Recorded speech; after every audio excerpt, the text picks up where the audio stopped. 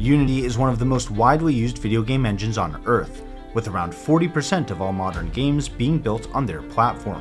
And Unity's market share is a staggering 70% for mobile games, which is the largest and fastest growing gaming market. Unity software is positioned to do great things over the entire gaming industry, or at least it was until it lit itself on fire earlier this month. So, in this episode, I'll lay out exactly what's going on, just how bad I think the damage is going to be, and what I'm doing with my Unity software stock as a result. Your time is valuable, so let's get right into it. I'm going to start this video in an unusual place, but trust me, it's very relevant to what's going on today. The year is 2011, and Electronic Arts, the company behind massive franchises like FIFA, Battlefield, Skyrim, and The Sims, is just wrapping up an earnings call when their CEO at the time says this. When you're six hours into playing Battlefield and you run out of ammo in your clip, and we ask you for a dollar to reload, you're not really very price sensitive at that point in time. When a consumer gets engaged in a property, they might spend 10, 20, 30, 50 hours on the game, and then when they're deep into the game, they're well invested in it. We're not gouging, but we're charging, and at that point in time, the commitment can be pretty high. EA's CEO wasn't seriously suggesting that gamers should be charged for every time they reload in an online shooting game. But what he was seriously pointing out was the kinds of moments where gamers are most vulnerable and willing to trade real life money for in game items, like when they're reloading in the middle of a firefight. And this wasn't just a thought experiment either. In fact, EA's hyper monetization strategy in the early 2010s would cause them to be voted Consumerist's worst company in America two years in a row, beating out hated companies like Bank of America, Ticketmaster, and Comcast for the honors. In an incredible twist of irony, EA's CEO had to step down in 2013 due to the company's poor financial performance. I'm telling you this story because that CEO was John Riccitiello, and just one year later, he became the CEO of Unity Software, a position he still has today. That doesn't make Unity Software a bad company. Actually, quite the opposite. I started investing in Unity Software because they run one of the most widely used game engines on the planet, regardless of how you slice the data. Like I said earlier, Unity is the best mainstream option for developing mobile games, boasting over a 70% mobile gaming market share this time last year. And that's a big deal for investors because consumers spend more money on mobile games than every other kind of game put together. Unity software also has over a 50% market share for augmented and virtual reality games, which is a relatively small segment today, but is growing by double digit percentage points every year, while the PC and console gaming markets have basically flatlined. And their platform isn't just for gaming. Around two years ago, Unity Software acquired Weta Digital, the Oscar winning visual effects studio behind films like Lord of the Rings, Avatar, Planet of the Apes, and Marvel's Avengers. So, John Riccitiello and the rest of Unity's leadership were actually doing a great job growing the company and making it attractive to investors. By the way, if you want a great app for stock market research and investing, check out Moomoo. This is the best app for comprehensive market data and tracking analyst ratings for individual companies. Here, let me show you how I use it myself. If I go to NVIDIA's page and then click on Analyst Ratings, I can see every analyst covering the stock right now. I follow Atif Malik because he has a very high success rate for NVIDIA stock. His average rate of return is over 60%, and right now he has a 12 month price target of $630 for NVIDIA, which would mean over 40% gains from today and I can follow Atif to get notifications whenever he issues a new price target. In fact, Moomoo lets me follow the best analysts for every stock I want, which is a total game changer for finding great companies and investing at great prices. And if you sign up right now, you can get up to 16 free stocks, including a share of Tesla or Google. All you need to do is download the app using my link, keep your funds at that level for at least 60 days, and enjoy your free stocks. But this offer ends soon, so make sure to get started today, and a big thank you to Moomoo and to you for supporting the channel. Alright, it's important to understand that Unity isn't just a game engine. It's also an advertising platform and has built in tools for managing in game microtransactions, which together account for about half of Unity's total revenues today.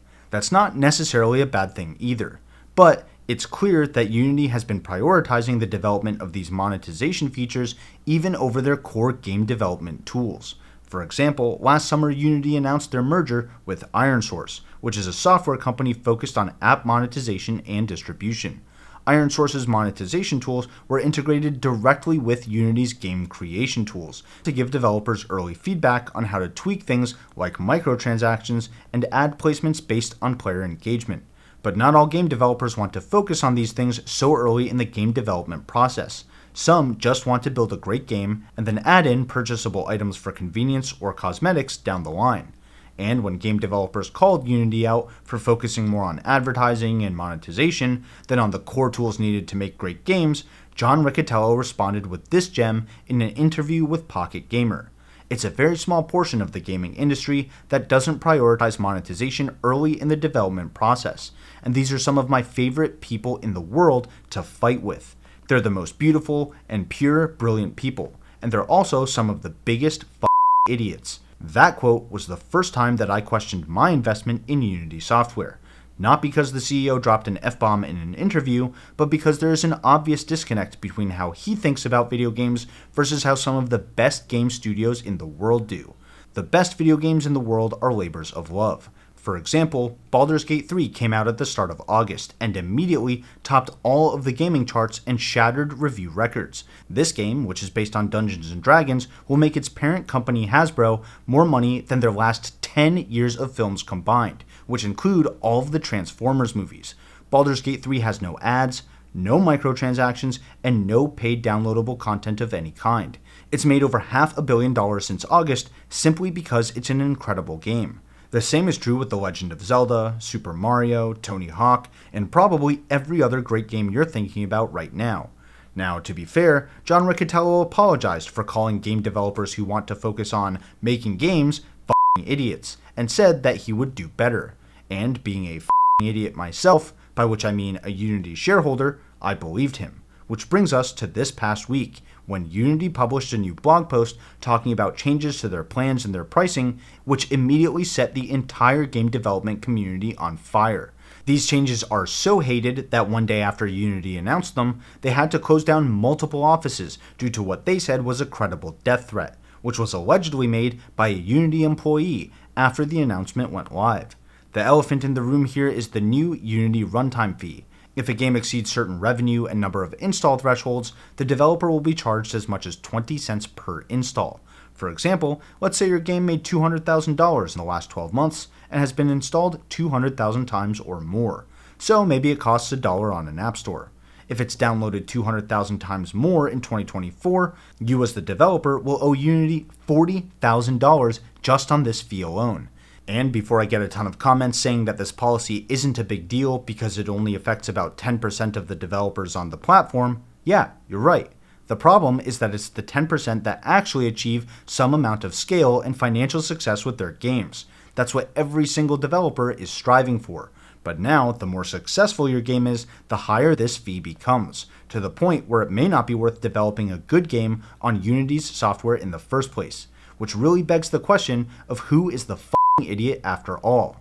But it gets even worse than this, because this fee starts on January 1st, and the blog post was only published on September 12th, leaving game developers with less than four months between this announcement and the fee going into effect. Obviously, it takes way more than four months to build a game, which means these pricing changes will effectively kill thousands of games that didn't account for this new fee and don't have the time, money, or the staff to start from scratch in another game engine. Also, you know how YouTube comments are filled with thousands of annoying spam bots? Well, it's not hard to imagine a similar army of bots targeting small indie game studios by just uninstalling and reinstalling their games over and over. Or what about when somebody who owns a game installs it on a laptop and a desktop? That's not that crazy, but it just doubled this Unity runtime fee for every time that happens. Unity even confirmed this with Axios' gaming columnist Stephen Totilo. If a player deletes a game and reinstalls it, that's two installs, so two charges. The same if they install on two devices. But less than one day after they confirmed this policy, Unity ended up reversing it, saying that only the initial install would be counted.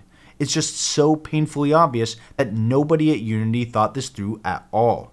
So, how will they determine which downloads count towards the threshold?